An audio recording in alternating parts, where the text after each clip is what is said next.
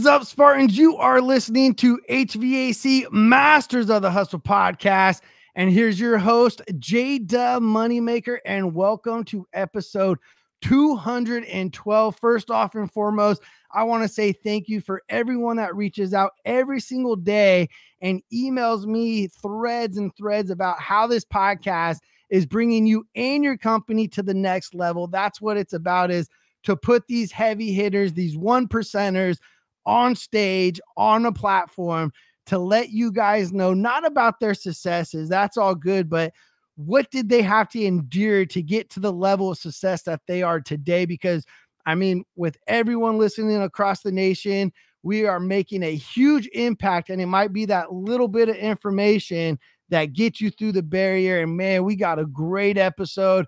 So if you're driving, you might want to pull over. You might want to call dispatch and say, you might want to push my call back a little bit because we got bombs going to be dropped on this episode. So make sure you guys got your paper, your pen, and let's go ahead and welcome the one, the only Mr. Danny Klein. How you doing, brother? Man, what an intro. I'm uh, I'm blessed to be on here. Thank you for giving me the giving me the stage and having me on here to pour into your your team, your audience, the HVAC, the service industry, the all of the trades. So uh, I'm blessed to be here. Thank you, and uh, man, I'm I'm excited to see um, what we get into. Absolutely, man. So first off and foremost, let me let all my Spartans and listeners know out there. You know, me and Danny, we became friends last year. We went to a mutual uh, training event and what really struck me about this individual is not only is he a young cat, but he's a shark. He's hungry. Um, he's really here to make an impact to help you guys understand and girls understand. Again, I say it on every episode. We all have this Spartan inside of us, right? It's my job, my duty, and my obligation to bring that beast out. And he understands about tapping into the beast Danny, talk about first off to my listeners, what's this beast that you have in you, bro? Because man, I, I, I see it. You're hungry. You're motivated. I mean, you you are definitely a elite, just like your shirt says, elite sales training right there. Yeah, so I, I, would say I had this inner beast inside of me, or I thought I had this beast inside of me, but it wasn't woken up for a large portion of my life. And for those of you guys that don't know me, I'm 24 years old now. I've been with Andy Elliott and the Elliott Group for about three years now, and I came from the car business. But I didn't have that real inner beast wake up until I had someone show me what that really looked like. And Andy was that first example. And then even then, it wasn't to my max potential, that max beast mode uh, mentality, the action, the effort, the skill. And I actually ended up having my dad pass away. He drowned in a pool um, about two years mm. ago. And that's when everything really shifted for me to start start going crazy. Once you realize that, hey, you got one life, you got one mission, you know, you only get to do this once. And um, I just started to to really tap into that. It kind of just came out came out. And I always tell people, don't wait for something bad to happen to wake up.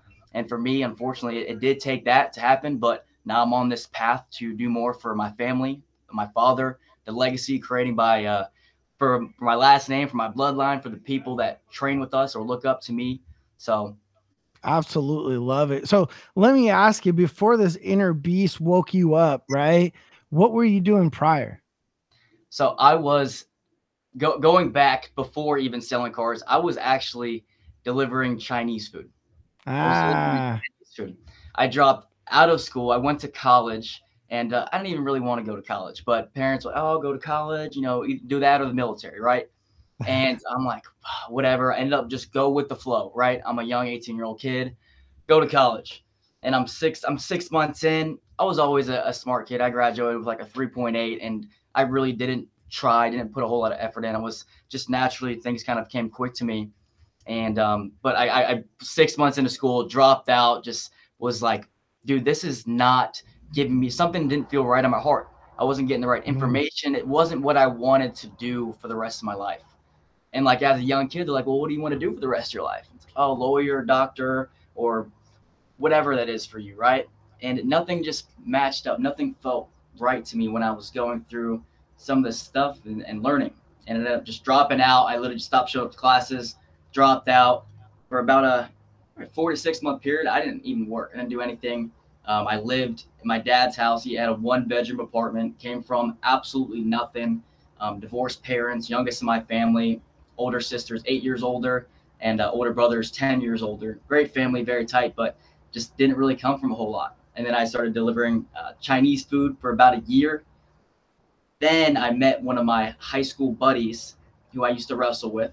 And, and I attribute a lot to what I've done and the mentality to wrestling. And we'll, we'll absolutely get into, get that, that's a that's a tough mindset sport like right the, there. The, the, player versus player, the weight, the mindset. You know, we'll, we'll, get into that. I can run all all day on uh, on on that. But Buddy comes in. His name was Logan, and we're working out in the gym. I see him. He says, "What's up?" Long story short, he shows me what he was making in the car business. I'm 19 years old. He shows me a $15,000 paycheck. Wolf of Wall Street moment. I'm like, dude, you show me a check for 15. I am quitting right now. All right now. I will. I I, ju- I slammed a pre workout. I'm like, I will fucking the weights right now, and I'll call him. He's like, done. Next day, guess what? Dad was the GM. Got lucky. He said, hey, we'll get you a job. Got me hired in the next day, and uh, start off selling cars. And it was just a crazy environment. Guy uh, had an ankle bracelet in. I, I literally an ankle bracelet I um, filling out my my interview sheet or whatever they had given me, and he looks up and he's like, "I got you and a little Mexican. You guys are on my team. We're gonna be on the used car department." That was my first day in the sales, and I'm like, what? "What's going through your mind? What's going, going through your mind?" And and I, I was just like, dude, part of me was like, "This is kind of fucking cool." like like this was unlike anything, and I can see the guy. He's got a Rolex, and I'm like, I mean, like, there's money around me, and I'm just like man, these guys aren't that sharp. And I was like, these guys got this money, and I'm I'm seeing the, our vice president has a Lambo parked out front. All the finance managers got nice cars, and I'm like, I'm going to kill these guys because I was like, I always believed it. I just didn't have the right information or, or yeah. skills. But car business was where I really got my start in sales. Um, truthfully, it was a little less than two years in the car business, and um, yeah, that's where I found that that that hunt, thrill for the kill, to to be able to get out of that that sal- the salary, the hourly, the the hourly, change yeah, of, the, of the hamster wheel and the rat race. Yeah, getting out of the rat race, right? Well, let's talk about that, you know, because a lot of people in the trades are comfortable with making hourly or salary, right? And I'm always like, cut the shit, cut the cord, yeah. commission, get paid what you're worth. 100%. Right? Talk about talk about maybe some of my listeners that are scared to make that leap of faith and what you were able to see through that journey and the journey that you're on right now? Well, first off, I would say you should be more scared of staying in the same position next month and next year as you are to change. And yes. I think a lot of people, I, I don't understand um, what that even means to be comfortable to make uh, three and four. That isn't uncomfortable for me. So, what I would tell you is change your perspective. Everybody needs to change their perspective. You're worth more. I came from nothing. I wasn't, there was a point where I couldn't speak clearly. I stuttered. I was nervous. I remember in college public speaking class, I was, I was shaking and literally was like, dude, I could have, I could have went out and I got a Xanax. I was so freaking nervous from anxiety. Oh yeah. Um, and, and it's funny that you mentioned that because I posted a picture on my social media uh, yesterday of one of our last events that we threw and it's right here and i make sure that when i'm on stage i bring my boys up and everything like that and i hand them the mic because they've done a study i don't know what college it was but they've done a study that says that when you go to a funeral people are so scared of public speaking that they would actually be the one they would rather be the one on the in the box rather than the one talking about the memories shared with the person in the box so so I mean, it resonated with me how crazy it that was, right? And I, am an introvert. It's crazy for me to go on stage in front of thousands of people and bring the energy. People are like, no way that you get nervous. I get nervous every time I go on stage. Me still. My, my heart's still. beating. Well, it's because you, you've studied so much on your craft that, that you know exactly where you're going to go because you've educated and you've trained and you've learned and you've uh, told yourself that you now are a trainer, you're a public speaker, that you're a fucking savage, that you're this yeah. person, this this this new identity. But for everybody, for everybody that's um, nervous to make the jump to 100% commission, I mean, you would be so surprised how much easier, how much easy, like easier it is for you to actually go and make these huge amount of money. I mean, whether it's a hundred grand, that's an amazing amount of money for a lot of people. But two, three, four, five hundred, especially in the service industry in the trades, there is so much money. Everybody's talking about solar right now, dude. Oh, yeah. HVAC in in the um, service industry has more money than I've ever seen. And I we we talk and uh, train a lot of people, and it's like there is so much money that's available there. You just have to go and learn the right skills. You got to get around people like Jason.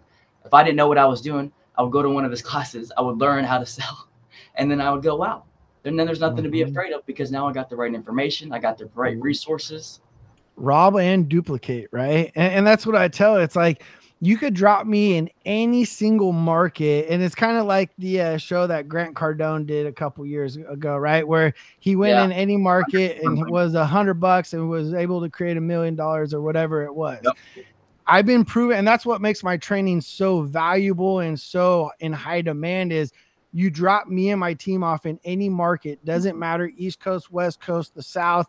We implement the process procedures, the step by step playbook, and we get average tickets 19,500, closing percentages mm-hmm. 60 to 70%, all across the nation, you know, and it's crazy the results that people are getting, but it's it's not just the training it's going back and implementing right yes. talking about you as a as a trainer the importance of keeping on track with your team to making sure that they're going back they're implementing their you know role playing getting uncomfortable being comfortable you are speaking my language bro a lot of what we teach we teach on a million different things and we can go down the rabbit hole on um, different techniques. As this, I got my Tactical Thursday banner up for some of the Zoom call trainings that we do. Um, but like I talk about execution over perfection. I say mm-hmm. it almost every single day. I said it all weekend at our Master Closer seminar execution over perfection. I would much rather say, hey, here's the scripts, here's the things that we need to learn, here's what we need to do on the day, here's the right steps.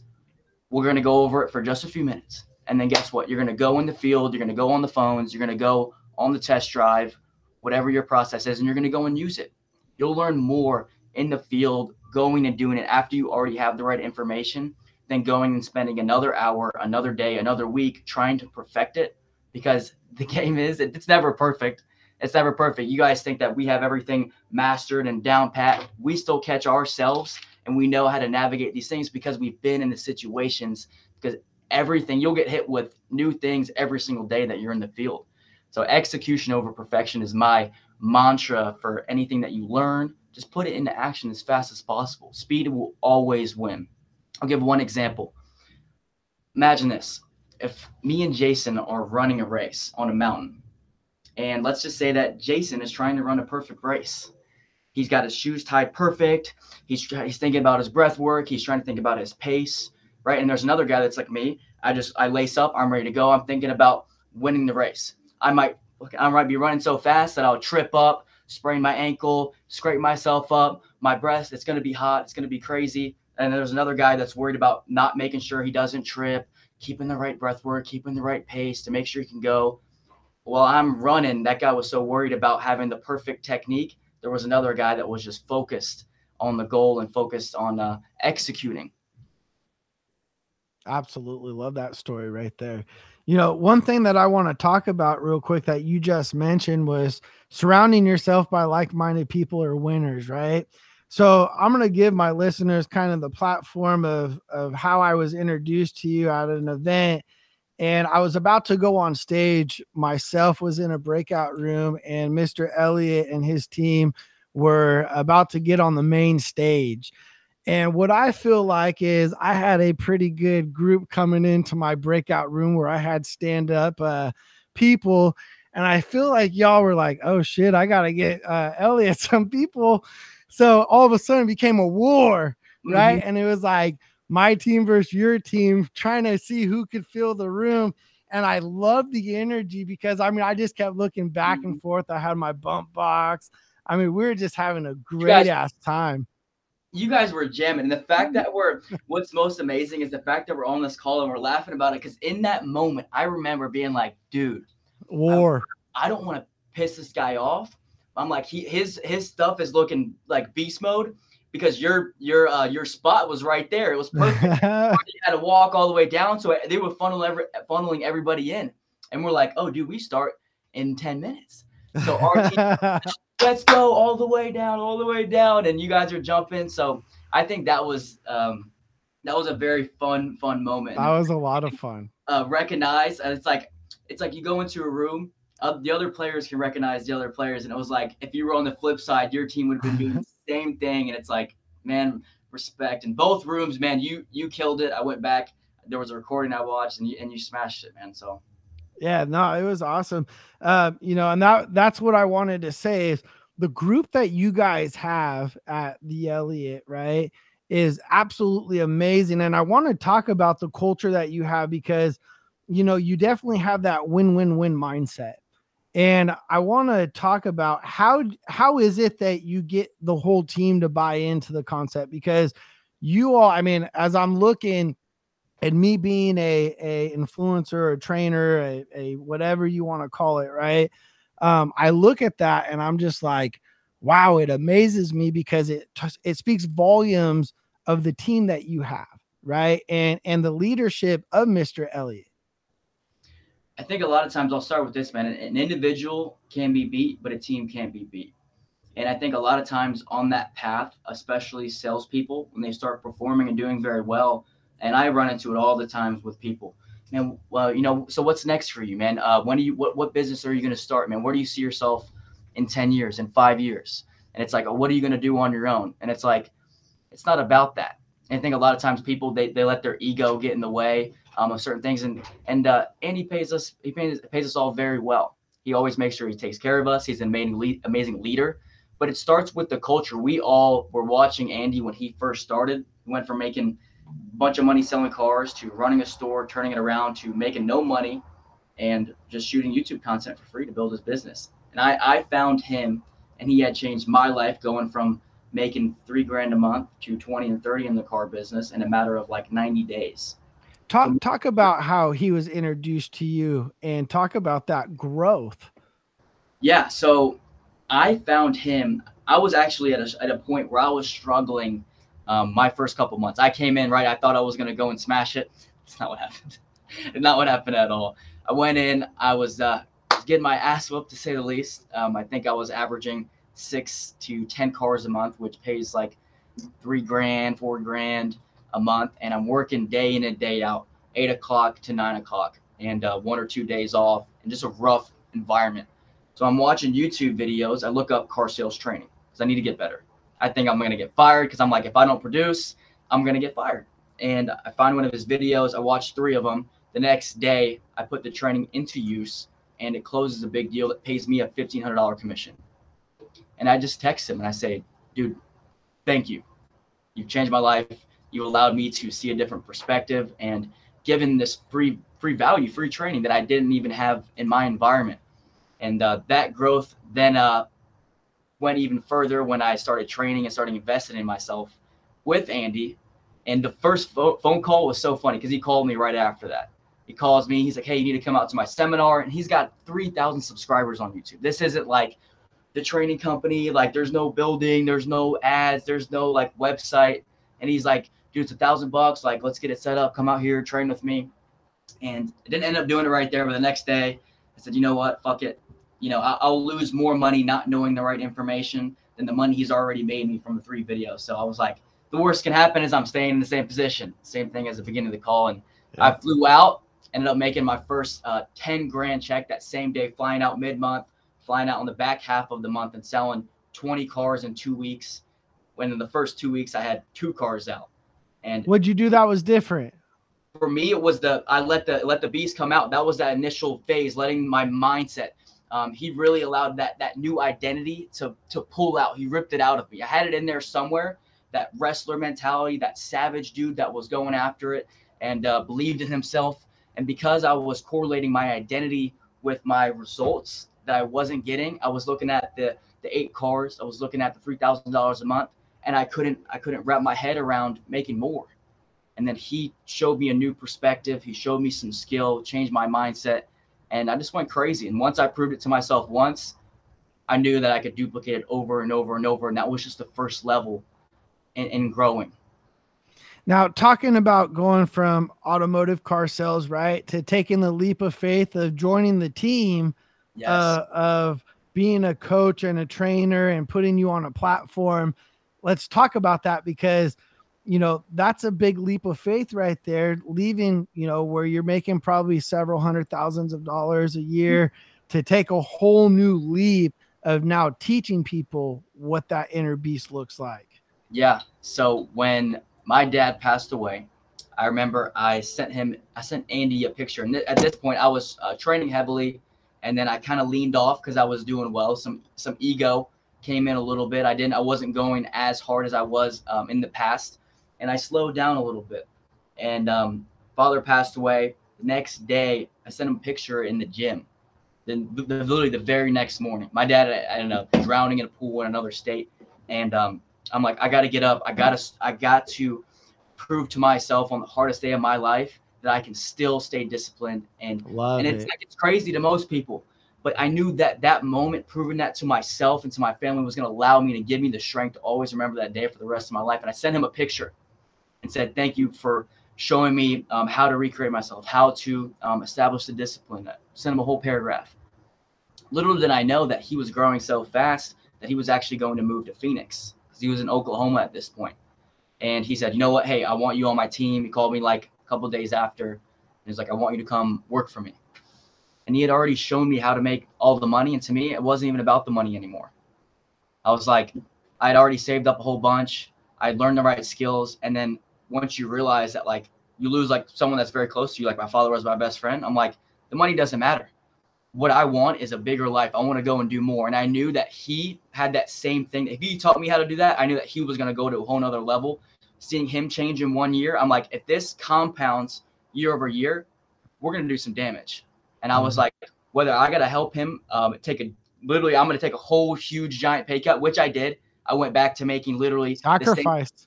went back to the same thing. But the bigger sacrifice would have been taking no risk, staying Mhm. staying in that same uh, that same spot. So I said, you know what, I'm all in, bro.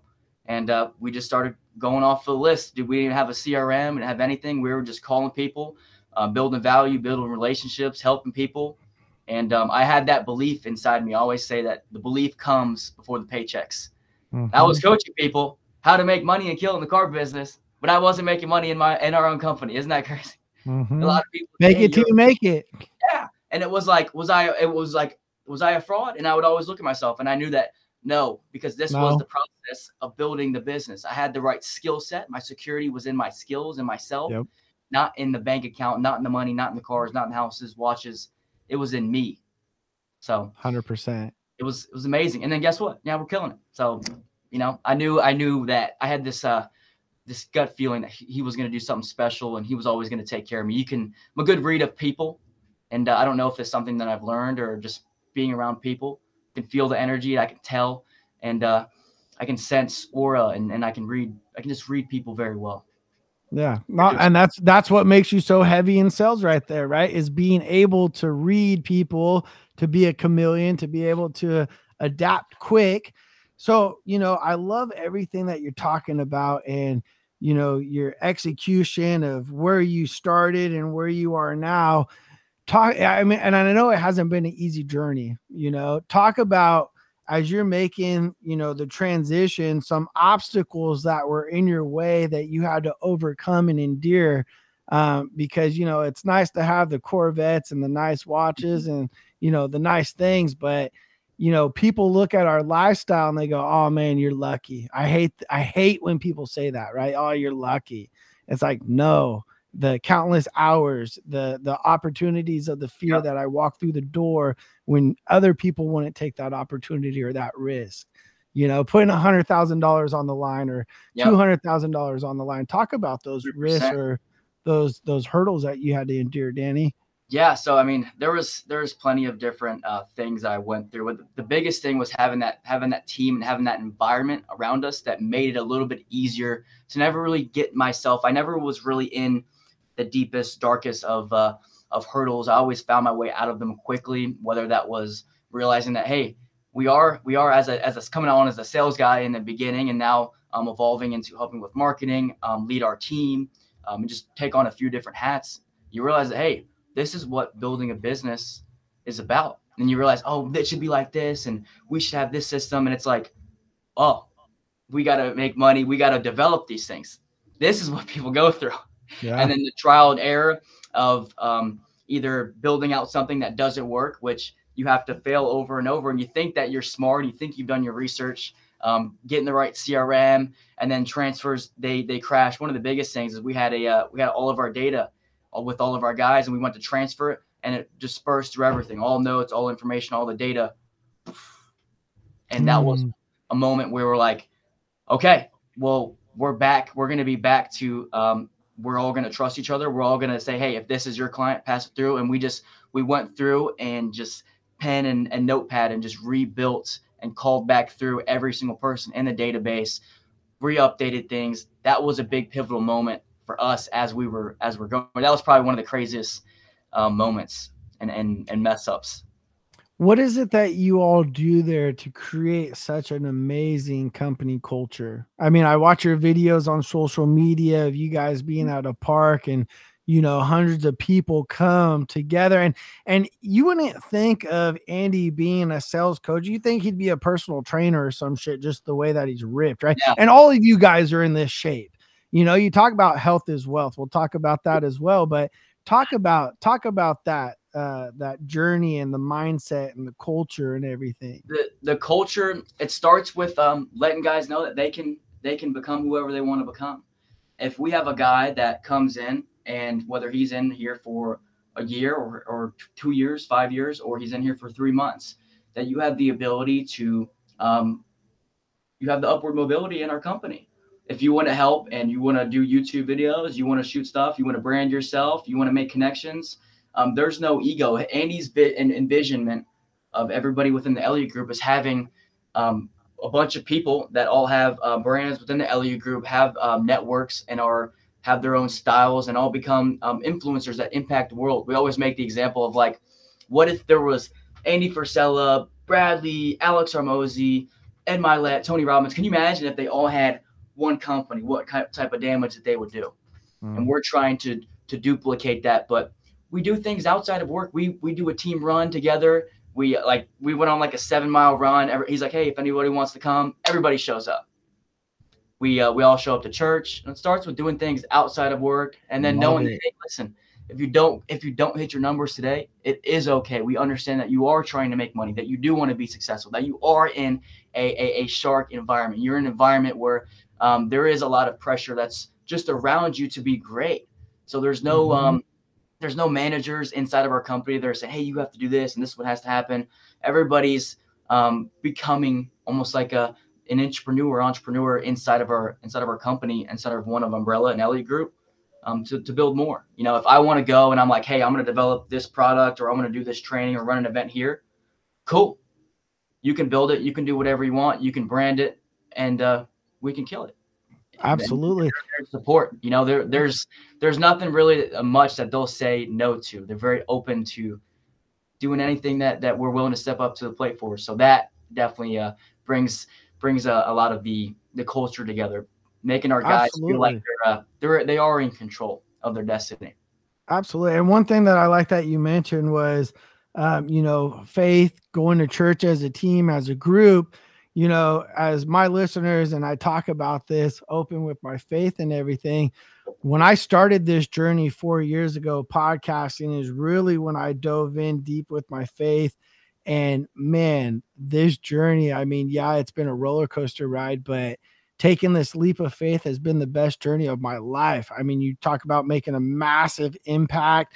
You talk about, you know, uh, I have 14 employees, and more than half of them are my are my family. So giving my family a lifestyle that they could live, and being able to, like I said, not only help people make an impact, but the bigger picture is is my wife and I we adopted both of our boys, and so we give a lot and a big portion of our training and, and merchant swag stuff to help kids in the adoption agency as well. So you know what we're doing and and the things that you guys are doing across the board is absolutely amazing one thing that i want to talk about is the importance of branding um, that's one thing that i see you doing as a personal brand getting yourself out there and taking initiative in doing branding and doing social media. I want you to talk about the importance of putting yourself out there.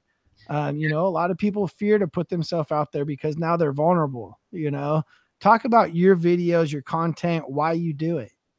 Well, uh, I would always think like, hey, if I'm starting a business, and I think a lot of salespeople um, and just people all over, they don't have a long-term vision. That's why they never start branding or start marketing or start um, generating any attention.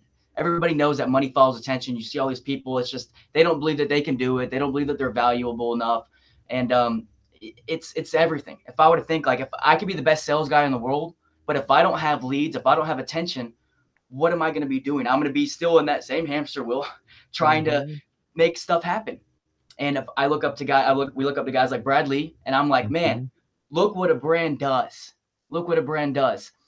Look at guys like uh, Elon Musk, and um, you see that um, what's the guy that has all the luxury brands?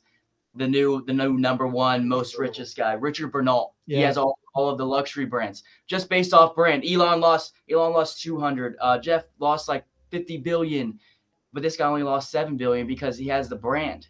Mm-hmm. And brand brand is literally everything. So I always talk about three things, the three C's that you have to have when branding. Consistency, clarity, and community.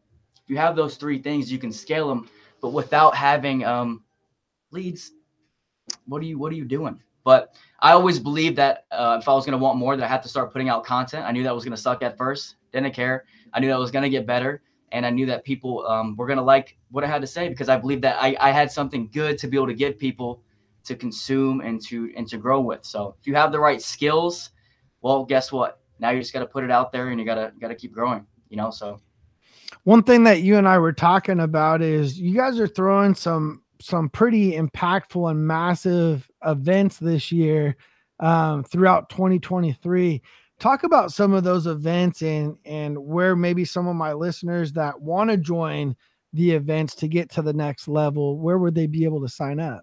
Yeah so they are in they're in scottsdale arizona for anybody is wondering where we're at we're in scottsdale arizona. We hold events literally every single month. Um, some are more um, business focused some are leadership focused some are straight sales conferences. So we hold a multitude of conferences. We have a website um, elliott247.com if you want to reach me directly, you can shoot me a DM at official Danny Klein on Instagram, or even shoot me a text at 540-840-3241. I'll send you over the itinerary. I'll walk you through, figure out which the, the best event is for you. So um, that way we can connect in personally and, and I can help you uh, level up as well. I got to ask you, Danny, you know, it sounds like you knocked it out of the park 2022. What is your goals for 2023, business and personal? Yes. So business, uh, I want to have a rock star team of 10 directly under me. Um, I want to have um, our business and our entrepreneur department really dialed in even more than it already is right now. Um, I want to um, just impact more, obviously, but want, want to make more money than I did year over year. I want to triple um, what I've done last year, which would put me in the the seven the seven figure range. I'd clear just under. I haven't broken it yet, so I want to break it in in production and commissions paid um, this upcoming year, which on pace with the record month last month. So, um, yeah, I just want to grow more in my relationship. I want to pour into more people. 24 years old. I want my listeners to understand this, right? Like delivering a good mindset. We're talking about seven figures he drives a beautiful cherry red Corvette. We were just talking about it, CH, right? And it's just absolutely stunning what you're doing, brother. I have to ask you this question. What is your drive, your purpose, and your why? What what is it that just what drives me? I think a lot of people they they kind of go to um, the legacy. I think what really drives me is uh, my father is, and this is hard to even talk about sometimes. and it took me a while to realize this because I was like, oh, I'm gonna, you know, I want to, you know, make my father proud and do stuff for my family. And I realized that, like my father really wasn't the best father, um, and I want to grow up and I want to be this badass man, this badass guy that can show um, young salespeople that you can get it now.